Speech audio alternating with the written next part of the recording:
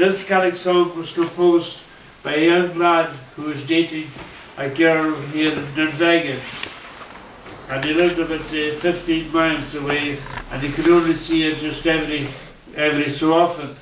And he had to walk days before bicycles were on the go. He had to walk uh, to come and see her.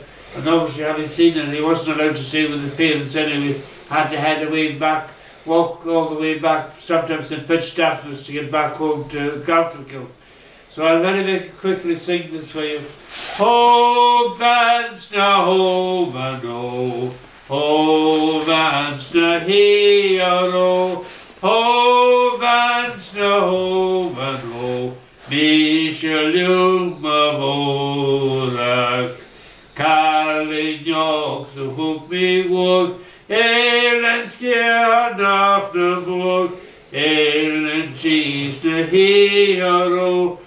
Woe and me, ma woe. This thing going to help me now with the chorus. Oh, that's the ho and ho.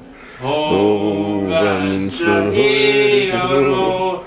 Oh, that's the ho and ho. Me shall you, ma woe. There you are. Yeah, cheers. Thank you. Nice.